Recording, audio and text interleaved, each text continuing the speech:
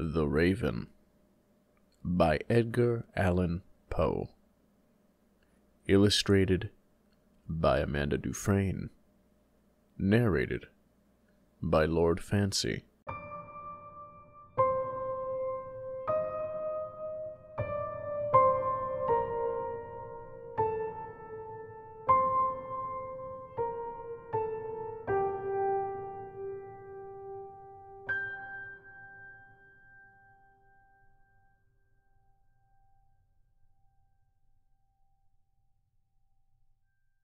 Once, upon a midnight dreary, while I pondered, weak and weary, over many a quaint and curious volume of forgotten lore, while I nodded, nearly napping, suddenly there came a tapping, as of someone gently rapping, rapping at my chamber door.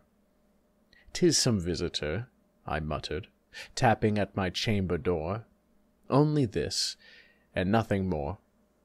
Ah, distinctly, I remember it was in the bleak December, and each separate dying ember wrought its ghost upon the floor. Eagerly I wished the morrow. Vainly I had sought to borrow from my books surcease of sorrow. Sorrow for the lost Lenore, for the rare and radiant maiden whom the angels named Lenore. Nameless here forevermore. And the silken, sad, uncertain rustling of each purple curtain thrilled me, filled me with fantastic terrors never felt before, so that now, to still the beating of my heart, I stood repeating, "'Tis some visitor entreating entrance at my chamber door some late visitor entreating entrance at my chamber door. This it is, and nothing more.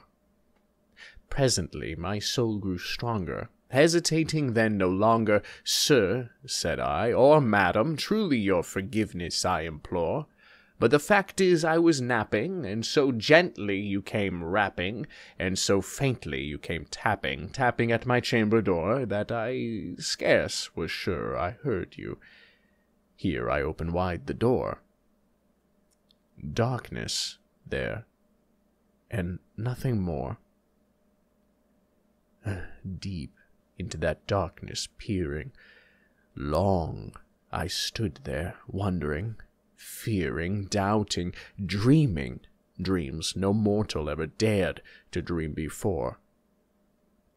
But the silence was unbroken and the stillness gave no token, and the only word there spoken was the whispered word, Lenore?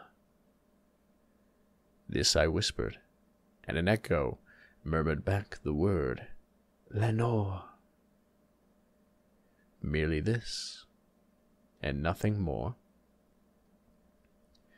Back into the chamber turning, all my soul within me burning, soon again I heard a tapping, somewhat louder than before.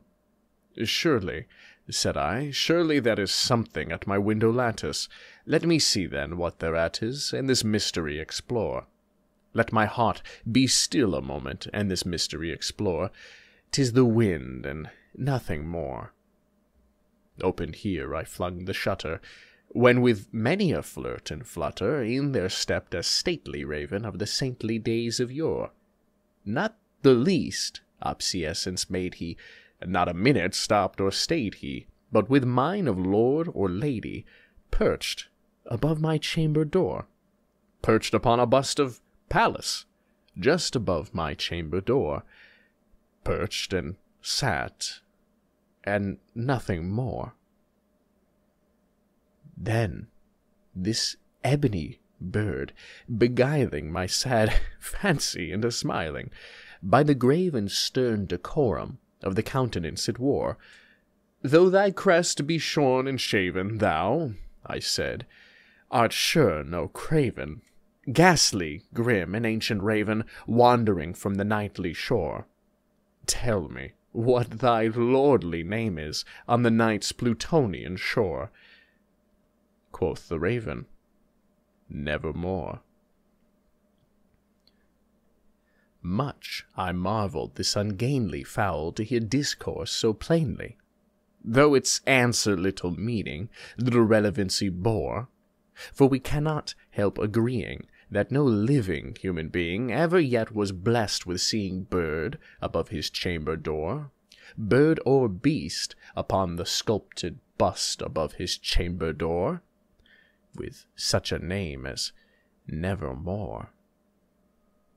But the raven, sitting lonely on the placid bust, spoke only that one word, as if its soul in that one word he did outpour.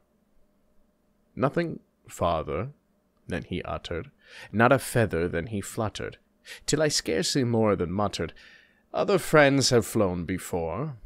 On the morrow he leave me, as my hopes have flown before. Then the bird said, Nevermore. Startled at the stillness broken by reply so aptly spoken, Doubtless, said I, what it utters is its only stock and store, caught from some unhappy master, whom unmerciful disaster followed fast and followed faster, till his songs one burden bore, till the dirges of his hope that melancholy burden bore of never, never more.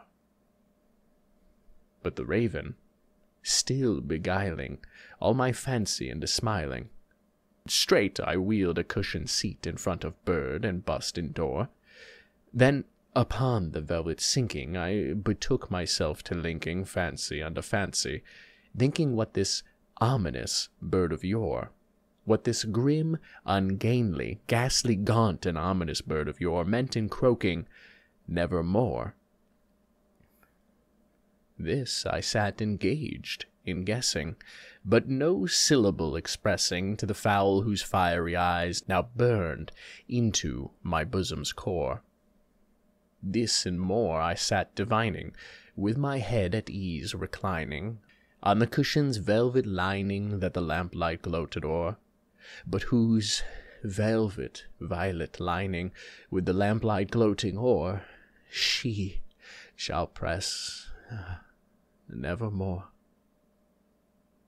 Then, methought, the air grew denser, perfumed from some unseen censer, swung by seraphim whose footfalls tinkled on the tufted floor. Wretch, I cried, thy God hath lent thee. By these angels he hath sent thee respite, respite and nepenthe from thy memories of Lenore. Quaff, Oh, quaff this kind nepenthe, and forget this lost Lenore. Quoth the raven, Nevermore. Prophet, said I, thing of evil, prophet still if bird or devil, whether tempter sent or whether tempest tossed thee here ashore. Desolate, yet all undaunted on this desert land enchanted, on this home by horror haunted, tell me truly, I implore, is there, is there balm in Gilead?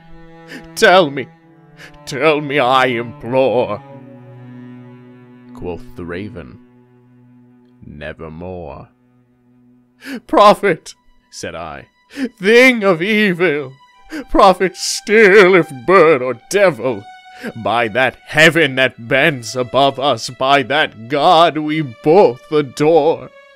Tell this soul with sorrow laden, if within the distant Aidenn it shall clasp a sainted maiden whom the angels named Lenore. Clasp a rare and radiant maiden whom the angels named Lenore. Quoth the raven, Nevermore. Be that word a sign of parting, bird or fiend! I shrieked, upstarting. Get thee back into the tempest and the night's Plutonian shore. Leave no black plume as a token of that lie thy soul hath spoken. Leave my loneliness unbroken. Quit the bust above my door. Take thy beak from out my heart and take thy form from off my door. Quoth the raven, nevermore. And the raven, never flitting, still is sitting, still is sitting on the pallid bust of Pallas just above my chamber door, and his eyes have all the seeming of a demon's that is dreaming, and the lamplight o'er him streaming throws his shadow on the floor. And my soul from out that shadow that lies floating on the floor shall be lifted nevermore.